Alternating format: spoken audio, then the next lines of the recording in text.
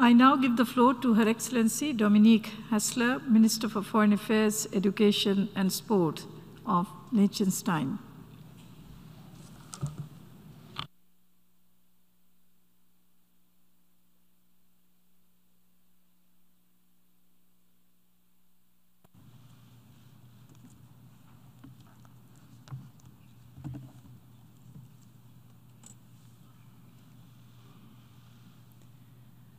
Mr. President, Excellencies, ladies and gentlemen, I congratulate you on your election to the helm of the General Assembly, the most important policy-making body in the world.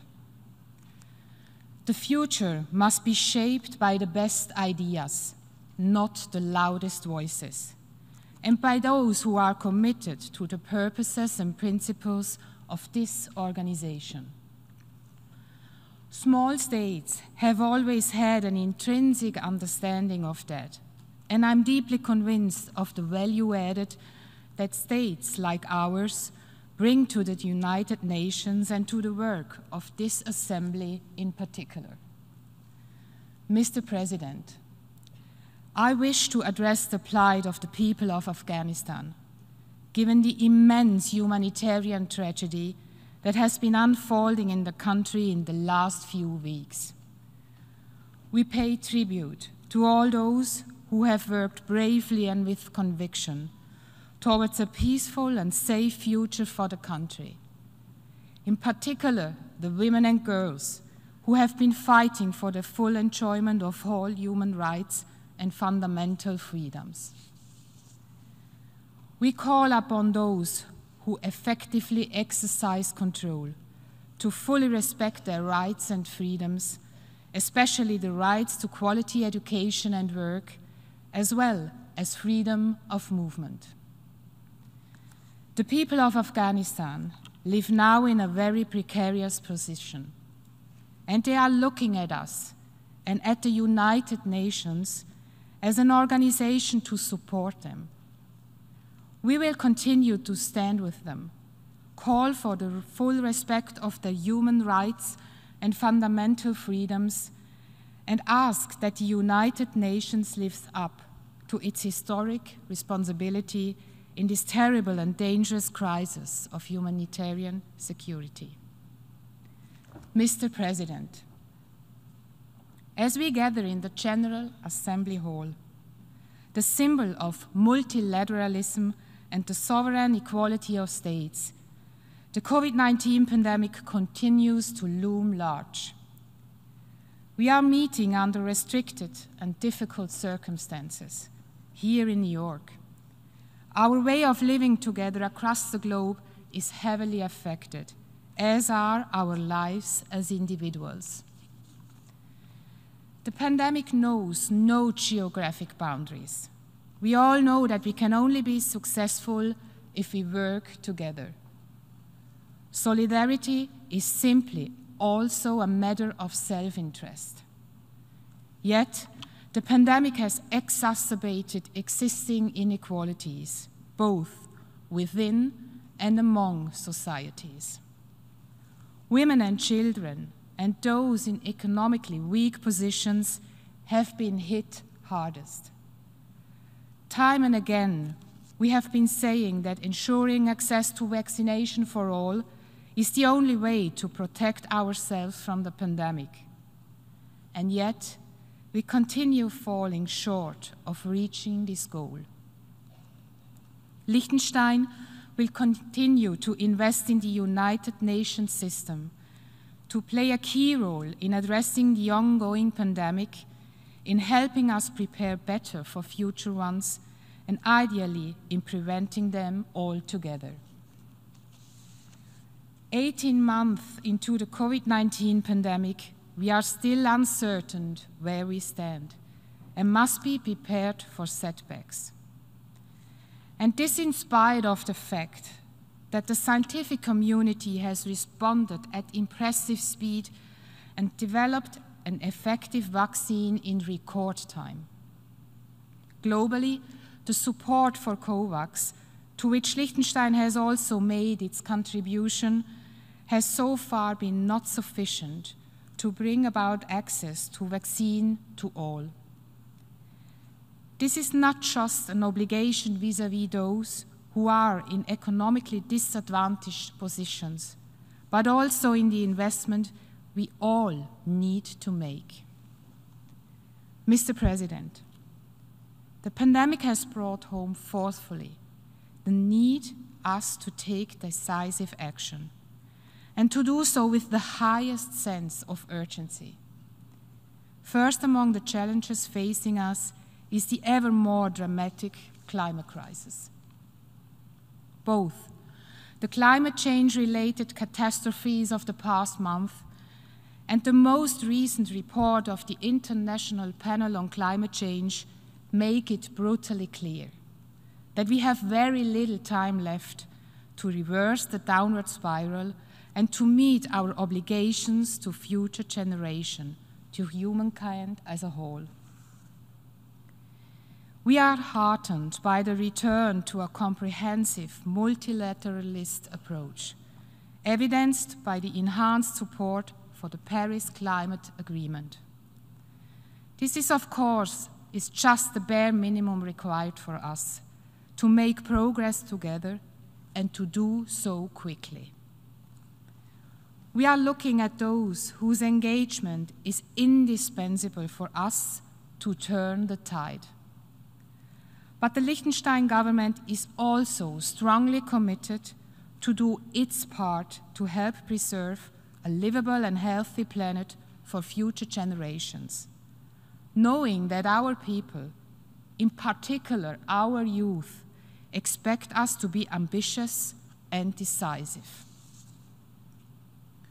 We are proud to lead the world on solar power per capita and take this as an encouragement to increase sustainability in other areas too. The upcoming COP26 in Glasgow is the ultimate test for our collective resolve. I sincerely hope that we will be able to pass it together. For the Glasgow meeting to be a success, it must bring a true breakthrough and a paradigm shift in the prevailing dynamic which is playing for time that we all know we do not have.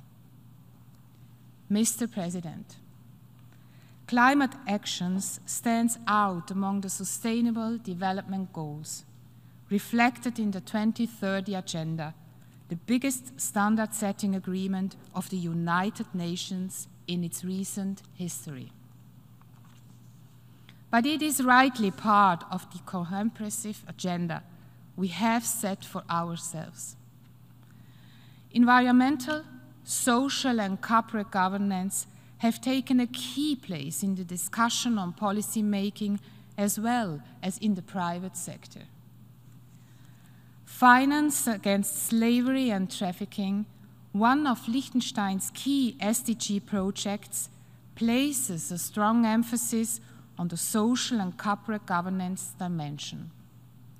FAST is a public private partnership embedded in the UN system, places financial institutions as the heart of the fight against modern slavery and human trafficking. In the areas of compliance, responsible investment, and financial innovation. Having achieved much more than we had hoped for, FAST is expanding its reach in the effort to work for dissemination and implementation. Enhancing partnerships for FAST will remain a key objective of Liechtenstein's engagement for the 2030 agenda.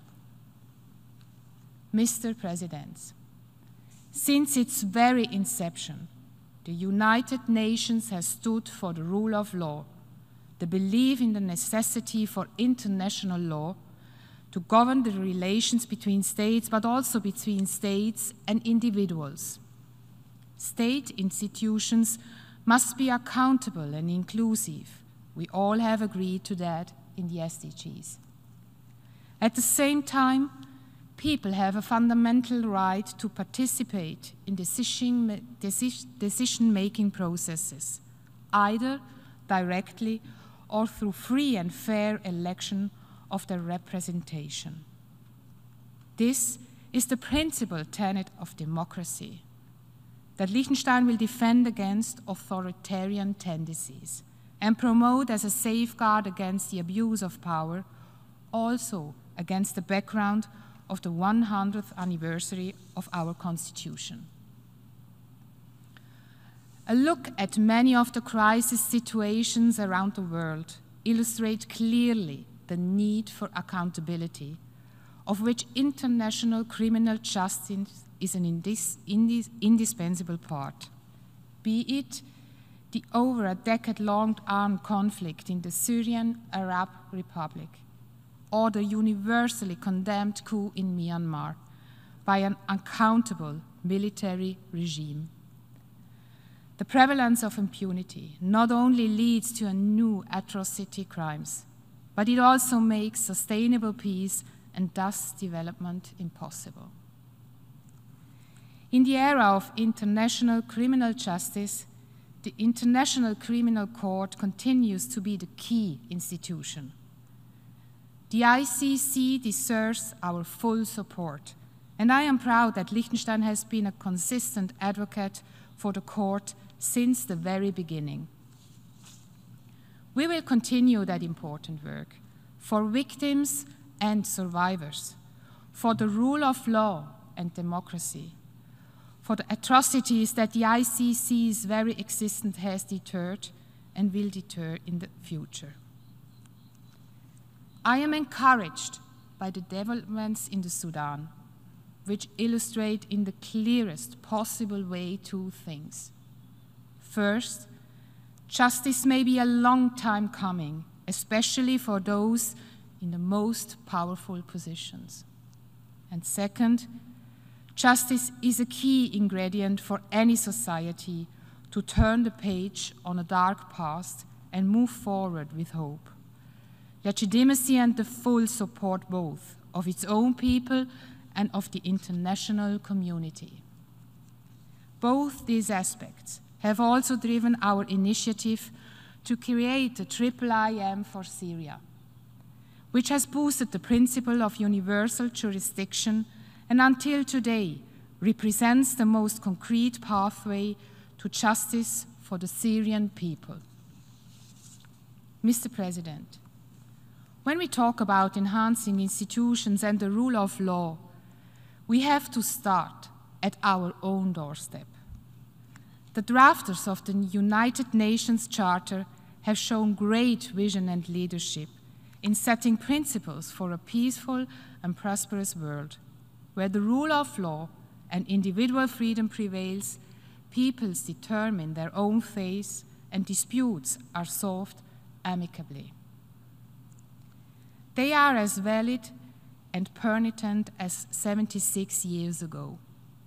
Unfortunately, the practices and processes of the United Nations do not always lend themselves to implement these principles. We often find ourselves in a situation where our actions or lack therefore are in clear conflict with those principles. Such situations include massive violence, violations of international law, especially the law of war and human rights the very fabric of our rules based international order, while the political bodies of the United Nations remain silent.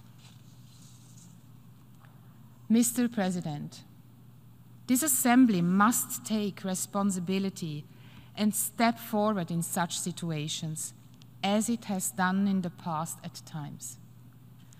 The General Assembly should also convene as a matter of course in each and every case when the Security Council action has been blocked by a veto.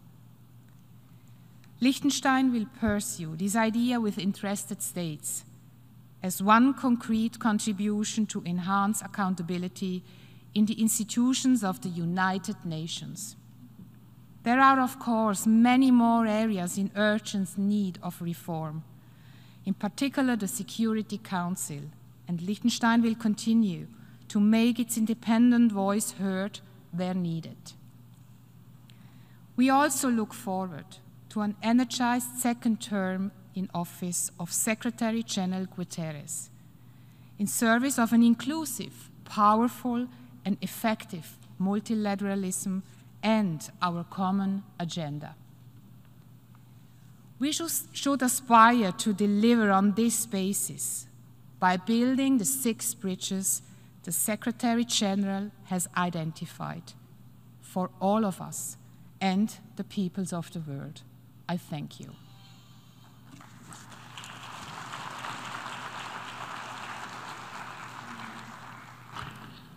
I thank the Minister for Foreign Affairs, Education and Sports of Liechtenstein for her statement.